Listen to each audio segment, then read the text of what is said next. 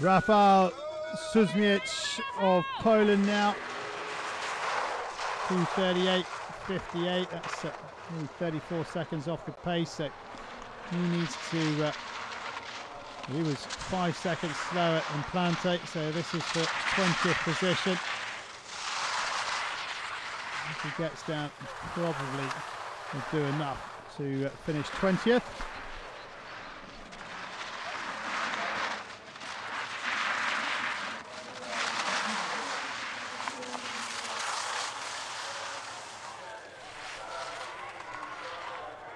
Plante's time has come and gone, so Szumiec will set the 20th fastest time on the competition. 3.14.44